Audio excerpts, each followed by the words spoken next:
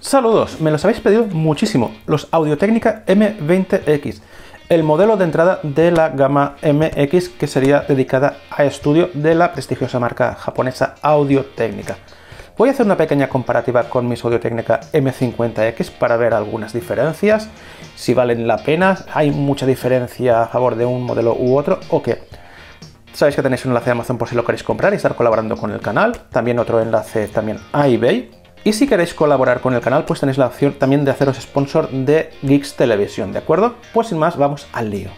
Pues estos audio técnica vienen presentados en esta caja y dice que las copas rotan 15 grados. Especificaciones técnicas, driver de 40 milímetros, rango sonoro de 15 a 20 Hz, 700 milivatios de potencia, 96 decibelios de sensibilidad y 47 ohmios de impedancia, bastantes. La presentación en caja es bastante más modesta que en modelos superiores como el 40 o 50, solo nos incluye este pequeño accesorio. Muy bien, pues vamos a ver los auriculares ya. En este caso tenemos aquí el cable, en esta parte. Vemos que tenemos un guardacable bastante bien hecho, plástico de una calidad bastante buena, tenemos un refuerzo aquí en esta diadema pues en metal, esto que no me gusta absolutamente nada, estos cablecitos algo que no me gusta absolutamente nada porque se puede romper muy muy fácilmente. El logotipo de Audio Técnica. La diadema es como prácticamente las de toda esta serie M, un poco mullida, tampoco es la mejor. Y en esta parte pues no tenemos nada. Cable de 3 metros, no reemplazable y sin micrófono, y con un guardacables pues bastante, bastante decente. Tenemos el otro accesorio para poder conectar una conexión de 6,4 milímetros. Las copas prácticamente son igual que en los modelos que he probado anteriormente, en los 40 y 50X. Rotan 15 grados, un poquitín así, no es que sea mucho, ni se pueden plegar como en el modelo 50X. Esto se ve bastante, bastante sólido. La verdad que la construcción es bastante buena y está a la altura de la marca. Pues vamos a hacer una pequeña comparativa con los M50X. Estos son de mi propiedad, los utilizo para escuchar música cuando quiero con un poco más de calidad y también pues para monitorizar algún sonido cuando hago alguna edición de vídeo, etc. Lo que son los plásticos prácticamente son muy similares, no varía mucho la verdad. Y aquí vemos la gran diferencia. Es que en el 50 pues las copas pueden rotar de este modo cosa que en este caso pues no tenemos. Y aquí tenemos el famoso cable que para mí me parece bastante peligroso porque se puede romper bastante más fácilmente. Lo que es la diadema de los 50X es un poquitín más ancha. Y en peso, sí, estos pesan un poquitín más que los M20X. Las copas no son muy diferentes unas de otras, prácticamente siguen el mismo modelo. Estas son, un poco más alargadas, pues porque seguramente a mis 50X se las he quitado ya alguna vez y han cogido un poquitín más la forma. Me imagino que también sucederá esto por el tiempo con los 20X. La gran diferencia entre unos y otros es, por ejemplo, que este podemos quitar el cable. Aquí podríamos poner un dispositivo Bluetooth si quisiéramos también. Y este pues no es removible. Lo bueno que tiene esto, y para mí es bastante importante, que si se rompe el cable, pues podemos cambiar el cable sin ninguna dificultad, de una forma muy económica. En el siguiente caso, tendríamos que cambiar los auriculares o bien intentar repararlos o buscar a alguien que lo supiese hacer. Muy bien, pues voy a ponérmelos. Y la sensación es muy buena, incluso aprietan menos que los M50X, muy muy cómodos. Veo que quedan bastante bien, ajustan perfectamente, la oreja entra sin ningún problema. Y noto un cierto aislamiento que está bastante bien. No es que sea una maravilla, pero lo noto bastante... No, es bastante notable. Muy bien, pues voy a hacer unas pequeñas pruebas. Antes que nada, voy a ver qué tal es el aislamiento. Va a ser una prueba que no es científica nada por el estilo, va a ser muy rudimentaria, pero para tener una mínima idea. Voy a meter el micrófono aquí dentro y a ver qué tal sonaría. Voy a hablar un poquitín también para que lo escuchéis. Muy bien, pues he metido el micrófono dentro. No sé cómo se estará escuchando, no sé si aislará mucho. Voy a alejarme un poquitín. Me acerco bastante y no sé cómo sonará. Luego en edición pues ya lo veremos. Vamos a aparcarnos y nos acercamos un poquitín más. Evidentemente no voy a modificar nada en edición para que sea la prueba lo más fidedigna posible. Ahora me los voy a poner, voy a utilizar el iPad y vamos a ver si se filtra mucho sonido hacia afuera. Muy bien, pues puestos, tengo el iPad puesto, lo voy a poner a un volumen primero bajo medio, voy a ir subiendo poco a poco y así nos ayudará pues también a tener una primera impresión del sonido y el volumen que pueda captar en un dispositivo móvil. Uy, qué bien suena esto. Voy a incrementar volumen.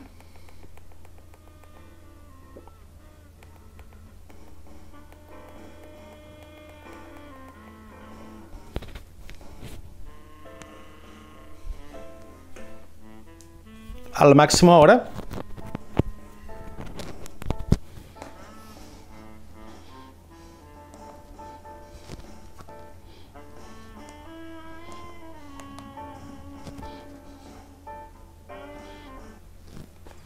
Muy bien, pues no sé cómo habrá sonado. Maneja muy bien la impedancia. La verdad que suena muy fuerte para tener 47 ohmios de impedancia en un iPad. Lo probaré, por supuesto, también en un smartphone, un Redmi Note 7. También lo probaré en el amplificador FIO que tengo y en el equipo de música para ver qué tal se mueven, ¿de acuerdo? Pues vamos a ver ya las conclusiones.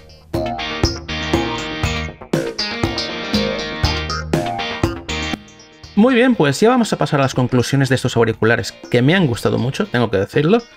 Y voy a pasar más que nada a responder muchas de las preguntas que me habéis dejado sobre ellos. Esto a veces ha sido otra vez como en los M40, que he respondido mucho, cosa que me gusta muchísimo, así que voy a pasar ya con la primera. Y la primera es de Agustín Cerezo y dice, ¿son cómodos para mucho tiempo de uso? Sí, sí, sí. De hecho son más cómodos que los M50X que tengo yo son muy ligeros y la presión que hacen en, lo que son las copas es la justa y prácticamente por el tiempo cuando encima se hagan más eh, se acomoden más a tu oreja pues aún serán más cómodos Víctor Pizarro pregunta lo siguiente Hola Carles y felicidades por los 10.000 suscriptores. Muchísimas gracias Víctor, eres muy amable. Y dice, hace mucho no uso, uso altavoces para PC. Me vendría bien la revisión Uso unos auriculares gamer que ya me tienen cansado. Tengo ganas de cambiarlos por unos Audio-Técnica ATH M20X y también comprar unos Audio-Técnica ATH S100 para usar con el celular y llevarlo a todos lados. Esos últimos son muy económicos, pero aún no encuentro revisión objetiva. Yo de hecho aún no los he probado y trataré de hacerlo en breve.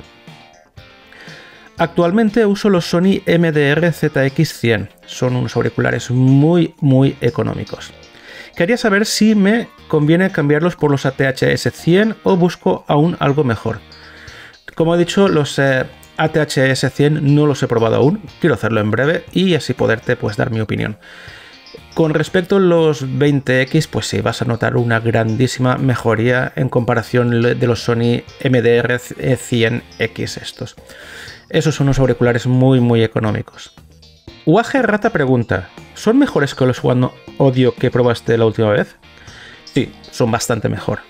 La calidad sonora es mucho mejor, el sonido es de mucha más calidad, la que es lo que es la naturalidad del sonido es mucho más natural, mucho más natural, la tímbrica es mucho más exacta y los materiales de construcción son bastante mejores que los One Audio. Estamos hablando de Audio Técnica, una marca que tiene muchos años en esto y que hace productos muy muy buenos. Siempre se ha dedicado pues a lo que es la alta fidelidad y desde hace unos años pues también está dedicándose pues a lo que es el mundo de los auriculares. Y ahora nuestro amigo Jesús Moreno Peña hace un montón de preguntas, las cuales os voy a pasar a responder. Algunas ya se pueden dar por contestadas porque lo he explicado antes. Primera pregunta, pregunta, ¿qué rango de frecuencia tienen? Lo he comentado antes. ¿Distorsionan con un volumen alto? No, les he puesto un volumen muy muy alto y antes llegan a molestar que a distorsionar. En esto Audio Técnica lo hace muy muy bien y estamos delante de una marca muy seria. ¿Tienen un sonido coloreado o dan una respuesta plana y o equilibrada en todas las frecuencias? Lo comentaré luego, pero son muy muy neutros. Aquí no existe coloración alguna. A pesar de no tener cables intercambiables, son fáciles de encontrar o reparar, parece que vaya a deteriorarse con facilidad.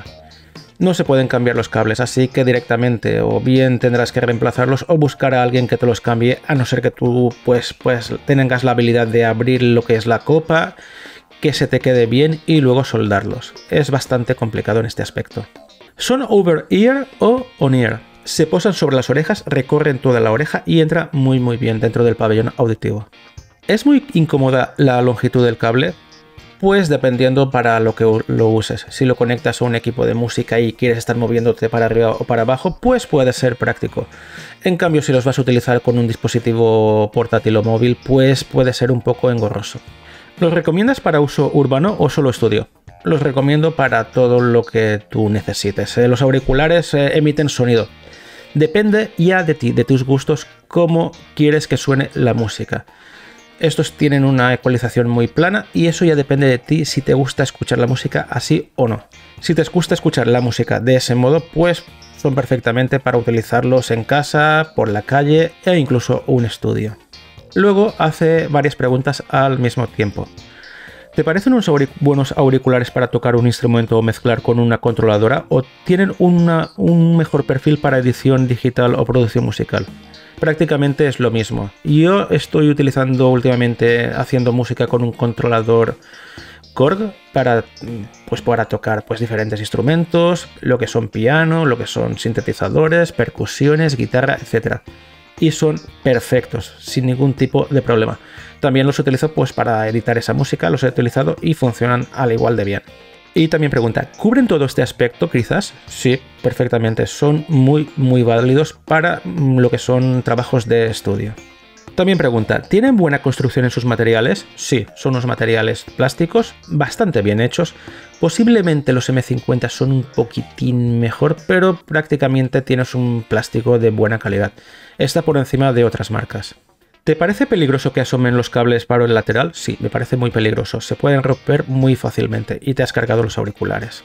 Dice, peligroso en cuanto a enredos y posterior rotura de... Me refiero. Efectivamente, sí. Directamente, si no vas con mucho cuidado, puedes darle un tirón y se pueden romper con una facilidad bastante...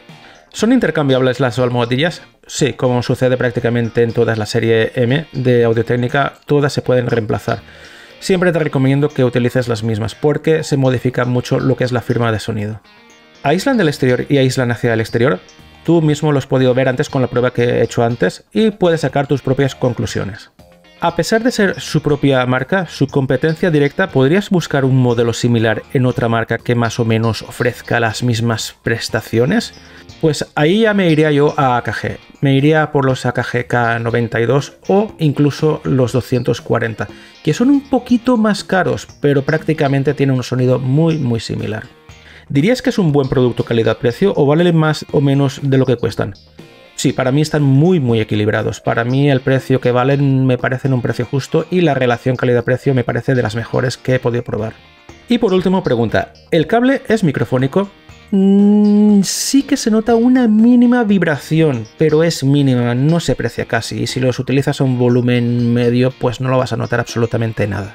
Y por último dice, gracias y un saludo. Pues muchísimas gracias a ti, Jesús, y te agradezco toda esta serie de preguntas que seguro que a mucha gente le van a aportar también muchísima información interesante a la hora de comprarlos o no. Muy bien, y ahora ya vamos a pasar al tema sonido. Y puedo decir que lo que es la escena sonora es muy amplia para el rango de precio que nos encontramos y para lo que es un auricular cerrado. Oímos muy bien la distribución de cada instrumento, hay aire entre ellos y se escucha todo con mucha nitidez. La separación estéreo es muy correcta, oímos paneos y paso de sonidos de un lado a otro de una forma bastante notable.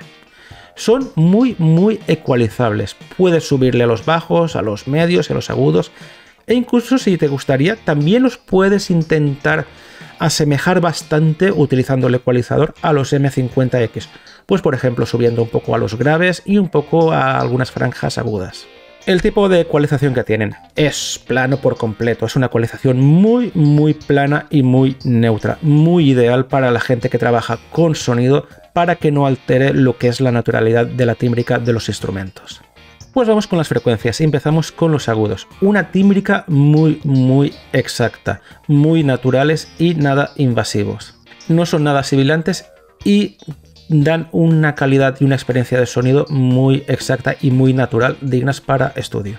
Medios muy notables, muy marcados, con muy buena presencia, no se comen ninguna frecuencia, muy muy cálidos y agradables, muy notables en las voces humanas, sobre todo en las femeninas también son muy agradables en instrumentos de cuerda.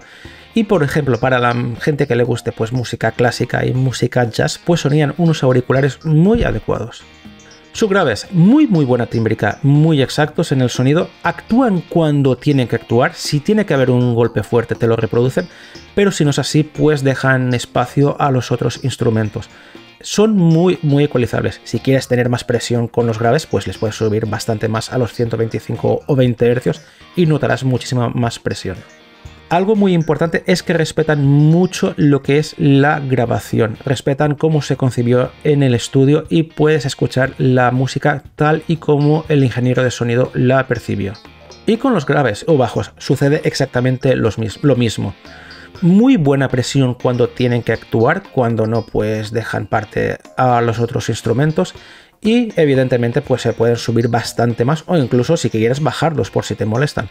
Muy ecualizables, tímbrica muy exacta y respetan mucho lo que es la grabación original. Muy bien, pues esto es lo que podéis sacar de estos auriculares, espero que os haya gustado. Si me he dejado algo, pues me lo preguntas y te lo responderé lo más pronto posible. Y como siempre te agradeceré que si te ha gustado el vídeo lo valores con un me gusta. Y si no, pues le des un dislike, para eso está. También te recomiendo que si te gustaría ver más material de este, pues me apoyes haciéndote sponsor porque así me ayudarás a que pueda producir mejor contenido, ¿de acuerdo? Pues te agradeceré también que si quieres, pues sigas suscribiéndote. Ya, hemos llegado a los 10.000, pero si quieres que el canal crezca, pues está en tus manos. Y te agradeceré, por supuesto, la suscripción, activar la campanita y darle a la opción todas, ¿de acuerdo? Muy bien, pues un saludo.